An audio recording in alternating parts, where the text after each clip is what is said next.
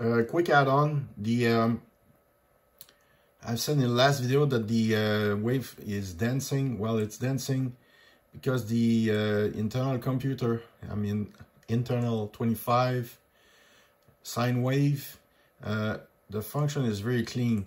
But if you look at the uh, uh, the calculation that the Android computer inside the scope has to do, it has to sample everything and then zoom on this part and quickly display you a small a small part of it. And it's dancing not because of the signal to noise but because of the uh, the work it has to do on calculation and, and it's limited.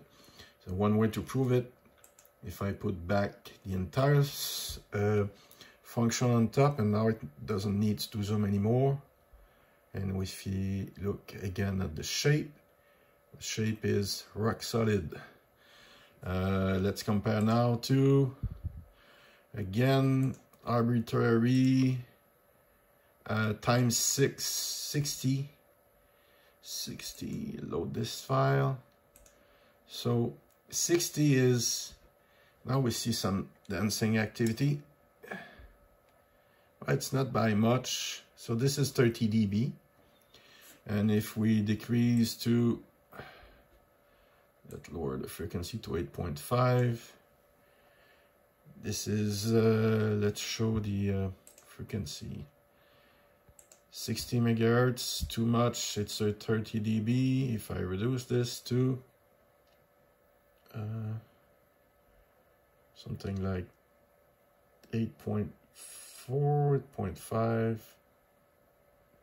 so the amplitude lower uh, but now the shape is solid. So this is 50 dB signal to noise. And uh, you could look further. It's not dancing, it's very clean. Uh, but if you were to put yourself in the same situation as before, which is uh, we were at something like uh, 20 10, let's say 10, and you activate the zoom.